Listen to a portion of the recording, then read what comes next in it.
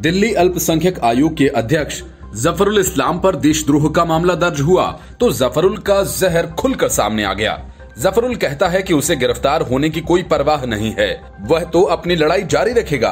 दरअसल एक social media post को लेकर दिल्ली पुलिस ने राजद्रोह के आरोप के तहत उनके खिलाफ एक मामला दर्ज किया। लेकिन जफरुल कहता है कि वो अपने विषय वस्तु पर अभी भी कायम है। जफरुल ने जो लिखा, उसको लेकर उसे कोई अफसोस नहीं है, बल्कि उस काम को वो आगे भी जारी रखेगा। जफरुल ने फेसबुक पोस्ट में कहा कि, मैं देश में नफरत की राजनीति के खिलाफ लड़ाई, वर्तमान और भविष्य में भी जारी रखूँगा।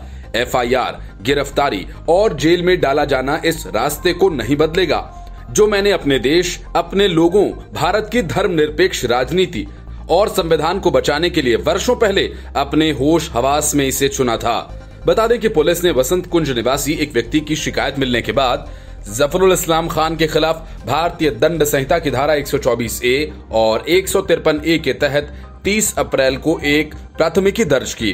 पुलिस ने बताया कि प्राथमिकी में शिकायतकर्ता ने आरोप लगाया है कि खान का पोस्ट भड़काऊ, इरादतन और राजद्रोह वाला था। ये समाज के सौहार्द को बिगाड़ने और उसे विभाजित करने के मकसद से था।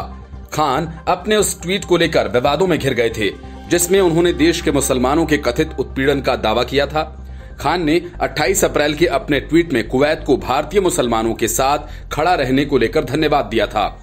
उन्होंने एक फेसबुक पोस्ट भी साझा की, जिसके चलते बीजेपी ने उनकी आलोचना की और दिल्ली अल्पसंख्यक आयोग के पद से हटाने की मांग की। अपने पोस्ट के लिए माफ़ी मांग चुके खान ने कहा, उन्होंने ऐसा इसकी विषय वस्तु को लेकर नहीं किया बल्कि इसलिए किया कि ये गलत समय पर और देश के एक मेडिकल आपात स्थिति का सामना करने के बीच किया गया। Bureau report, news of India.